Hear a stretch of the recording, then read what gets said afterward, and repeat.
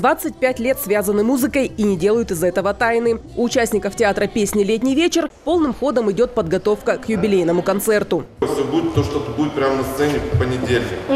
То есть мы полностью с вами еще раз пробежимся в 4, 14.00 получается репетиция у нас. 14.00. На репетиции встретились те, кто не виделся долгие годы. Это было и волнительно, и радостно. Наталья Петроченкова, первый руководитель коллектива, вспомнила, как все начиналось. Буквально заканчивала школу, когда директор дворца Мишина Ирина Васильевна, дай бог здоровья, пригласила меня в этот дворец. И вначале я была, э, играла на хореографии э, ребятам а потом уже сказали, что ну вот нужно подумать и создать какой-то музыкальный коллектив, чтобы туда могли приходить дети поселка, потому так как поселок отдален от города. Зимой стали приходить ребята. Самый первый коллектив, я всех ребят помню и даже помню песни, которые они пели. Например? Ну, например, э, нынешний директор дворца пел э, свою песню Катя Катерина, популярную на то время.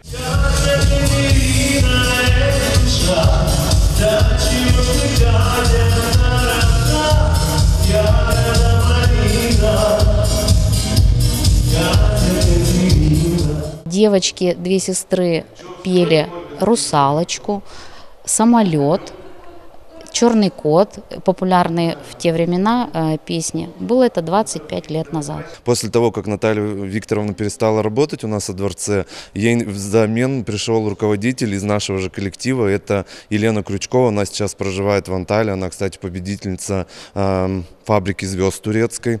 Тоже известна очень там, в Турции.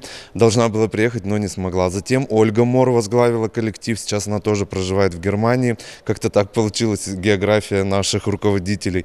Затем э, преемственность поколений Галина Викторовна Балакина. Они все, получается, руководители были в составе нашего театра песни «Летний вечер». И сейчас вот руководит коллективом Яна Геннадьевна Хигай.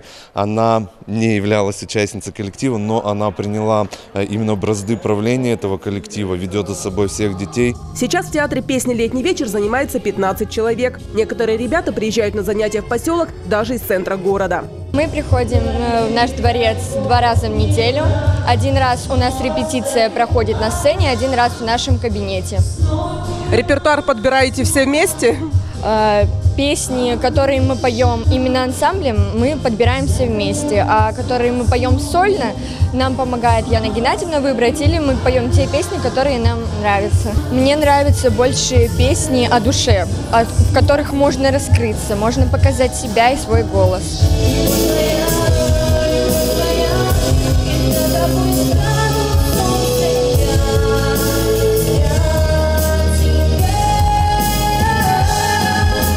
За 25 лет «Летний вечер» стал брендом Дома культуры и поселка Бажова. К своему юбилею коллектив подошел с большим багажом хороших песен и готов устроить музыкальный круиз для своих слушателей. Это путешествие на лайнере «Летний вечер», который длится 25 лет. Начнем с его истоков, расскажем, как все начиналось, как продолжается в данный момент и что происходит на сегодня в коллективе. То есть отправимся в такое музыкальное путешествие, будем петь, плясать, танцевать. В общем, я думаю, всем зрителям должно понравиться.